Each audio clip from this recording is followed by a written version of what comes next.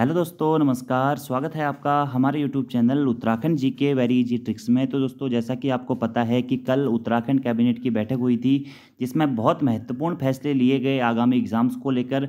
खासकर UK triple S के द्वारा जिन एग्जामिनेशंस के फॉर्म निकाले गए थे या जिन एग्ज़ाम पर भर्ती हुई थी, उसमें बहुत कुछ चेंजिंग हुई है कैबिनेट में, उत्तराखंड गवर्नमेंट द्वारा बहुत से फैसले लिए गए हैं उन, और उन फैसलों को कैसे इम्प्लीमेंट किया जाएगा, ये अभी तक कुछ भी नहीं कहा जा सकता है।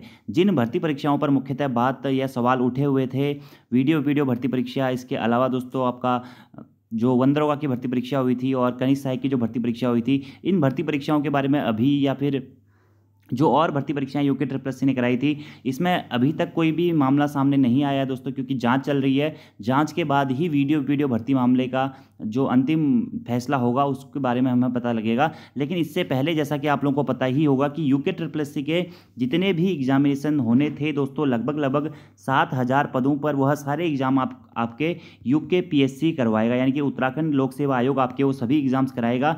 यूके ट्रिपल एस सिर्फ़ उन एग्ज़ाम्स की प्रक्रियाओं को पूरी पूरी करेगा जो पुराने आपके एग्ज़ाम्स थे, जिनके एग्ज़ाम्स हो चुके हैं या फिर किसी भी सिंगल एग्ज़ाम में उनमें कुछ ना कुछ हो चुका है। ठीक है? और दूसरी जो अपडेट है दोस्तों, वो ये है कि पाँच भर्तियों को निरस्त कर दिया गया है। ये ऐसी भर्तियाँ थी दोस्तों, जो कि यूके ट्रिपल के द्वारा इनके एग्ज़ाम्स कराए गए थे, लेकिन इनमें फाइनली रिज़ल्ट घोषित नहीं किया गया था। इस कारण दोस्तों, ये जो एग्ज़ाम्स थे आपके, इनको कैंसिल कर दिया गया है, जिसमें है वाहन चालक भर्ती परीक्षा दोस्तों, जो कि तेरह जून को आयोजित हुई थी। दूसरी है आई जो कर्मशाला अनुदेशक की जो वैकेंसी थी इंस्ट्रक्टर वाली वो एक सौ सत्तावन पदों पर तेरह जून को इसकी भी परीक्षा हुई थी, ये भी रद्द कर दी गई है।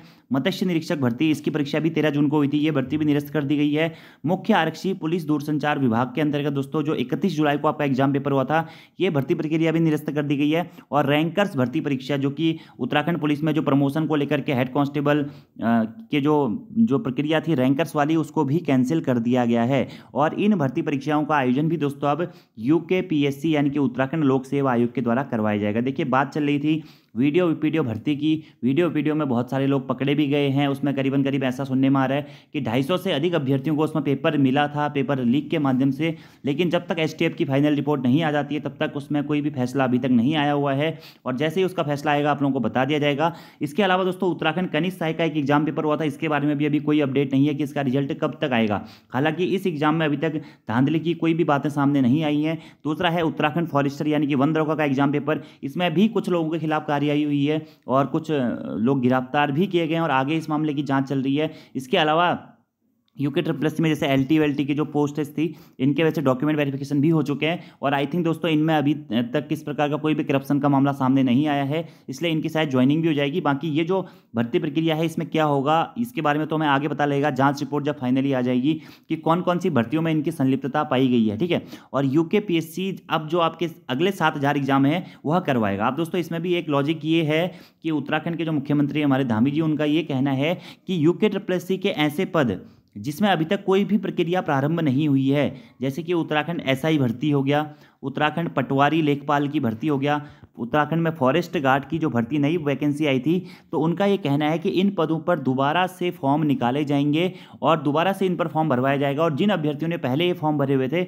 उनको बिना शुल्क के ये फॉर्म भरने दिया जाएगा। तो अब इस मामले में अभी देखना पड़ेगा, क्योंकि आज तक जितने भी बार एग्ज़ाम कैंसिलेशन हुए हैं, उस टाइम पे मैक्सिममली रहता ये है कि जिन भी अभ्यर्थियों ने पहले फॉर्म भरा हुआ है या पहले पेपर दिया हुआ है, वही अभ्यर्थी दोबारा से पेपर देंगे। लेकिन यहाँ पर मुख्यमंत्री साहब का ये कहना है कि सबको दोबारा से मौका दिया जाएगा और दोबारा से इसके फॉर्म रीओपन कराए जाएँगे। तो इन सभी चीज़ों के बारे में हम आज की इस वीडियो में बात करने वाले तो दोस्तों, आप लोग भी ज़रूर अपनी राय दीजिएगा कि यूके ट्रिपल से सारे एग्ज़ाम्स हटाकर यूके पी को दे दिए गए हैं। क्या यूके पीएससी पूर्ण पारदर्शिता या शुचिता के साथ में ये एग्ज़ाम करा सकता है? क्योंकि कहीं ना कहीं यूके पीएससी का अभी तक जो स्ट्रक्चर है, वो टाइप से डेवलप नहीं है कि वो इतनी भर्ती परीक्षा करा पाए, ठीक है? लेकिन फिर भी यहाँ पर एक बड़ी ज़िम्मेदारी पीएससी को दी गई है।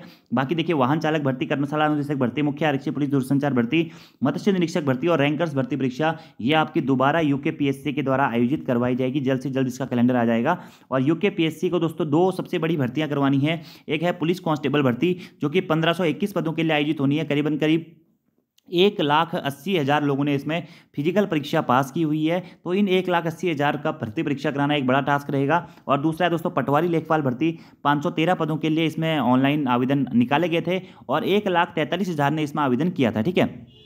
और इसकी परीक्षा भी नवंबर में होनी थी। लेकिन अभी दोस्तों ये सारे एग्ज़ाम आपके यूके यूकेपीएससी करवाने वाला है। दूसरा देखिए, आप स्टेटमेंट देख सकते हैं कि कैलेंडर तैयार कर भर्ती परीक्षा शुरू करेगा आयोग। यानी कि आयोग अपना नया कैलेंडर यानी यूके यूकेपीएससी दोस्तों अपना नया कैलेंडर जारी करेगा और उसमें जो भी यूके ट्रिपल एस की तेईस पुरानी भर्तियाँ हैं, उनका एग्ज़ाम जल्द से जल्द कराने की कोशिश की जाएगी। ठीक है? और यहाँ पर एक स्टेटमेंट दोस्तों मुख्यतः यह लिखा गया, आप पढ़ सकते हैं कि सभी परीक्षाएँ जिसमें अधीनस्थ सेवा चयन आयोग ने आवेदन लिए थे, उनमें लोक सेवा आयोग की परिधि में जाने के बाद पुनः विज्ञप्ति प्रकाशित करने की दशा में अभ्यर्थियों को आवेदन शुल्क से मुक्त रखा जाएगा। यानी कि ऐसे एग्ज़ाम जिसमें अभी तक कोई भी प्रोसीजर नहीं हुआ है, उनको दोबारा से यूके के द्वारा निकाला जाएगा और यूके अपना नोटिफिकेशन निकालेगा तो दोबारा से आपको फॉर्म भरने का मौका दिया जाएगा। और यूके का पैटर्न क्या रहेगा वो अभी तक कुछ नहीं कहा जा सकता है, लेकिन जहाँ तक संभावनाएँ हैं, यूके ट्रिपल के पैटर्न पर ही यूके भी आपके एग्जामिनेशन करवाएगा सिंगल डे एग्ज़ाम जो आपका सौ नंबर का पैटर्न है। लेकिन इसके बारे में जैसे इनकी नियमावलियाँ बनेंगी, उसके बाद में दोस्तों मुझे ऐसा लगता है कि पुनर्विज्ञप्ति प्रकाशित होने में, दोबारा से फॉर्म भरवाने में कब तक एग्ज़ाम पेपर होगा, आप खुद ही सोच सकते हैं कि एक बहुत एक लॉन्ग प्रोसेस हो गया ठीक है? अभी इतनी जल्दी तो ये सब चीज़ें होती नहीं है दो या तीन दिन में कि जैसे कि सरकार ने निर्णय लिया और अभी फैसला हो जाए तो मुझे लगता है कि ये भर्ती प्रक्रिया आप थोड़ा सा लंबी खिंच जाएँगी। बाकी जैसे ही आयोग के द्वारा अपनी नियमावलियाँ बनाई जाएँगी या आयोग इस बारे में क्या कहता है, उन सभी चीज़ों को देखते हुए फिर आगे फैसला होगा, ठीक है? और लगभग लगभग जो सात हज़ार पदों की भर्ती परीक्षाएँ हैं, वह लोक सेवा आयोग को सौंपी गई हैं और मुख्यमंत्री साहब ने साफ़ ये कहा है कि ऐसे विभाग जिसमें खाली पद हैं, उनका ब्यौरा तैयार किया जाए और उनकी भर्ती के लिए एडवांस कैलेंडर भी जारी कर दिया जाए ताकि भर्तियों में परीक्षा की सुचिता व गरिमा को बनाए रखा जा सके, ठीक है? और यहाँ पर इसके अलावा दोस्तों, एक और न्यूज़ मैं आपको बताता हूँ कि धांधलियों के शक में रद्द की गई आयोग की पाँच परीक्षाएँ, जो कि मैंने आपको बताई दी है। दोबारा फॉर्म भरने पर नहीं देनी होगी फ़ीस यानी कि दोबारा से आपको दोस्तों फॉर्म भरने पड़ेंगे। और जहाँ तक मेरा मानना है कि पटवारी, लेखपाल बंदी, ये बंदी रक्षक हो गया एसआई हो गया फॉरेस्ट गार्ड हो गया, इन सभी के फॉर्म आपको शायद दोबारा से भरने पड़ें अभी इस मामले में हो सकता है कि कुछ संशोधन हो जाए, या जिन लोगों ने पहले से फॉर्म भरे हुए उन्हीं को मौका दिया जाए। लेकिन अगर दोबारा से फॉर्म निकाले जाते हैं तो जो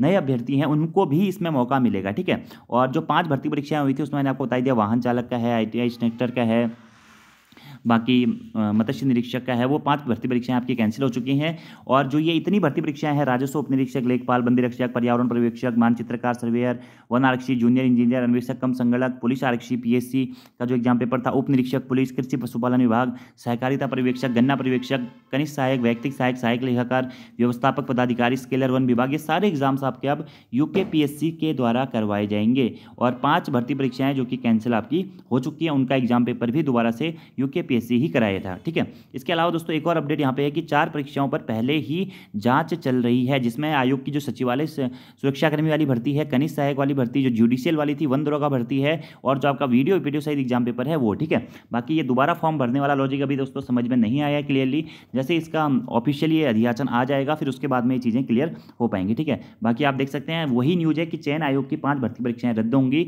और अब आपके सारे एग्ज़ाम यूके पीएससी करवाएगा तो आप लोग दोस्तों अपनी तैयारी में रहें, जल्द ही यूके अपना भर्ती कैलेंडर भी जारी कर देगा और जिन भी पोस्टों पर नए फॉर्म निकाले जाने हैं या जो नई विज्ञप्ति जारी करनी है, उन पदों पर नई विज्ञप्ति भी जारी कर दी जाएगी। बाकी ये जो पाँच परीक्षाएँ रद्द हुई हैं, सबसे पहले शायद इनके एग्ज़ाम पेपर होंगे। बाकी पुष्कर सिंह धामी जी का ये कहना है कि भर्ती परीक्षाओं की सुचिता और गरिमा बनाए रखने के लिए राज्य सरकार हर संभव कदम उठाएगी। राज्य सरकार ने इन भर्तियों को राज्य लोक सेवा आयोग से कराने का निर्णय लिया है। आयोग को जल्द ही भर्ती परीक्षाओं के लिए कैलेंडर जारी कर इस भर्ती प्रक्रिया को दोबारा से शुरू करा दिया जाएगा। सात हज़ार पदों की भर्ती परीक्षाएँ करवाने वाला है और धांधलियों की आशंका, इन भर्तियों में नहीं थी दोस्तों, फिर भी ये पाँच भर्ती परीक्षाएँ रद्द कर दी गई हैं। बाकी वीडियो वीडियो भर्ती परीक्षा और जो ये अन्य तीन भर्ती परीक्षाएँ हैं, इनमें फाइनली क्या होगा, ये जब एसटीएफ की आपकी जाँच रिपोर्ट आ जाएगी, उसके बाद में ही क्लियर हो पाएगा, ठीक है? बाकी दोबारा फॉर्म भरने पर आपको फ़ीस नहीं देनी होगी। तो यही दोस्तों आपकी अपडेट है फाइनली कि यूके ट्रिपल के सारे एग्ज़ाम आपके यूके पी करवाएगा और ऐसे एग्ज़ाम जिसमें अभी तक कुछ भी प्रक्रिया प्रारंभ नहीं हुई है, उनको पुनर्विज्ञप्ति किया जाएगा, उनकी पुनर्विज्ञप्ति निकाली जाएगी और दोबारा से उसमें फॉर्म भरने का मौका दिया जाएगा और जिन भी अभ्यर्थियों ने पहले फॉर्म उनके भरे हुए हैं, जिनकी फ़ीस कटी हुई है, उनको शुल्क माफ़ किया जाएगा। तो ये कल की कैबिनेट मीटिंग में ये फैसले हुए हैं दोस्तों, और तेईस भर्तियाँ लगभग लोक सेवा आयोग ने करवानी है,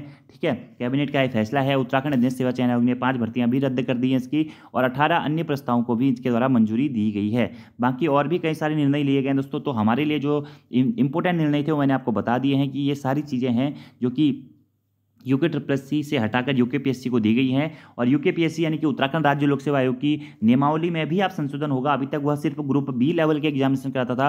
अब वो ग्रुप सी लेवल के भी दोस्तों एग्जामिनेशन करवाने वाला है, ठीक है? और इस सारे संवर्गों के अंतर्गत उसके द्वारा भर्ती का आयोजन किया जाएगा। इसकी भर्ती परीक्षाओं की जो अपडेट है, बाकी आगे इस मामले में क्या होगा, अभी कुछ भी नहीं कह सकते हैं, लेकिन आप लोग अपनी भर्ती परीक्षाओं की तैयारी करते रहे हैं। यूके ट्रिपल सी के कारण काफ़ी सारे जो स्टूडेंट्स हैं, उनका अपसेंट हुआ है दोस्तों, क्योंकि देखिए, जो पढ़ाई करने वाले छात्र होते हैं, जो मेहनती छात्र होते हैं, जो बहुत लंबे समय से तैयारी कर रहे हैं, उनके लिए कहीं ना कहीं जो ये प्रोसेस है, यह टाइम टेकिंग प्रोसेस है। और इस प्रोसेस में एक लंबा समय लग सकता है। अभी कब क्या होगा, कैसे होगा, कोई भी नहीं कह सकता ये सर, सिर्फ़ अनुमानित चीज़ें हैं कि यूके ट्रिपल एससी से हटाकर सारी परीक्षाएँ यूके पी को दे दी गई हैं। और यूके पी का सिनेरियो कैसा है? कैसे वो सारी चीज़ें एडजस्ट करता है? कैसे वो इन एग्ज़ाम्स को कंडक्ट कराता है? ये सारी चीज़ें देखने वाली होंगी। और हो सकता है कि इसमें एक लॉन्ग टाइम टेकिंग प्रोसेस भी हो। ठीक है, लेकिन यहाँ पर मुख्यमंत्री धामी जी ने ये आश्वासन दिलाया है कि जल्द से जल्द इन भर्ती परीक्षाओं को शुरू करके कार्यवाही की जाएगी और अभ्यर्थियों के हित में कदम उठाए जाएँगे। बाकी दोस्तों, आप लोग अपनी तैयारियाँ करते रहें और भर्तियों की तैयारी करते रहें, क्योंकि एग्ज़ाम्स तो आपके कभी ना कभी होंगे। फॉर्म आए हैं तो एग्ज़ाम्स भी होंगे, इसलिए आप लोग कंटिन्यू अपनी तैयारी करते रहें ऐसी चीज़ें चलती रहती हैं, ये चीज़ें हालाँकि जो मेहनती छात्र होते हैं, जो अभ्यर्थी बहुत तीन या चार साल या पाँच साल से मेहनत कर रहे हैं, उनके लिए थोड़ा सा एक डिसअपॉइंटेड करने वाली चीज़ें हैं, लेकिन फिर भी आप लोग अपनी तैयारी करते रहें। अपना मोटो जो आपका लक्ष्य है कि आपको जॉब प्राप्त करनी है तो आप उस पर लगे रहें। बाकी आपको जॉब ज़रूर मिलेगी, आप मेहनत करते रहें। Thank you thanks for watching video you next time धन्यवाद।